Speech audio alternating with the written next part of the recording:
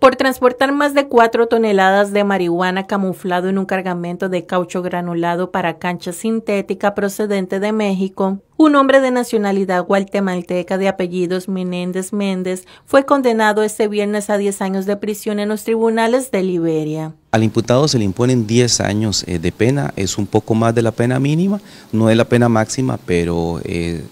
se consideran varios aspectos eh, de personales del imputado para hacer la imposición de pena, lo cual al Ministerio Público le parece eh, razonable los 10 años de impuestos por la pena por tráfico internacional de drogas. Según las autoridades, cuando el conductor se encontraba en el almacén fiscal en el aeropuerto de Liberia, se logró detectar que había una variación entre la carga y el peso, por lo que se inició la investigación. Al dar alerta a las autoridades, las autoridades se presentan el 2 de septiembre del año pasado a esta, a esta aduana, a esta almacén fiscal, con un guía canino, con una unidad canina detectora de, drogas y miembros de la Policía de Control de Drogas y de Policía Aeroportuaria hacen un primer abordaje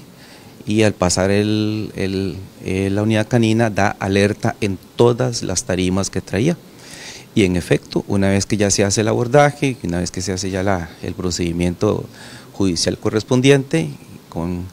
Em, se llega a determinar que eh, el aquí imputado traía la totalidad de 576 eh, eh, paquetes o bultos que contenían cannabis sativa, o sea, marihuana. Mientras queda en firme la sentencia, el hombre deberá descontar seis meses más en prisión preventiva.